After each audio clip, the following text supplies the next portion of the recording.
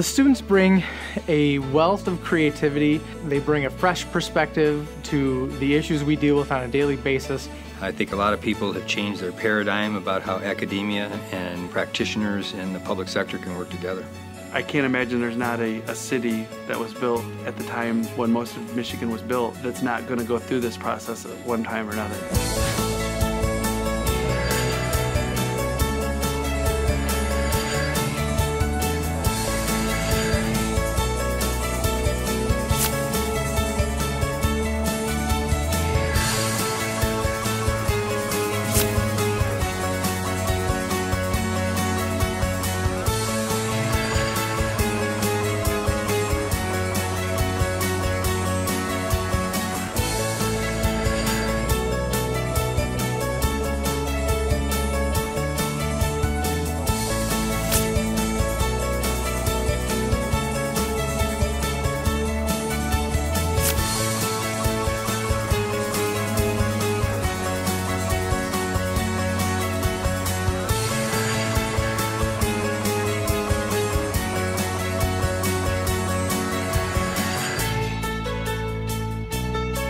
We've learned so much about ways we can be better, and I think our community will truly benefit from the partnership that we have with U of M. Our communities around us should stand up and take notice that Jackson isn't the same old Jackson.